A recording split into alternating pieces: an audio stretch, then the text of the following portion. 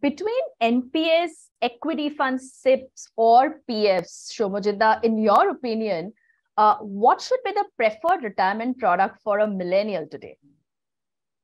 So, as I said, Shona, uh, PF will come uh, even if you don't want it. If you are salaried, it will come to you. Uh, but if you're a professional, then uh, it is better for you to start with NPS instead of a PPF.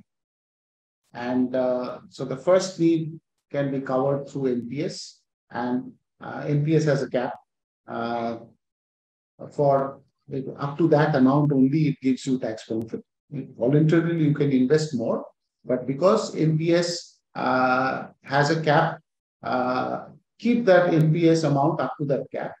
Anything incremental, move into equity SIPs. Mutual fund investments are subject to market risks. Read all scheme related documents carefully.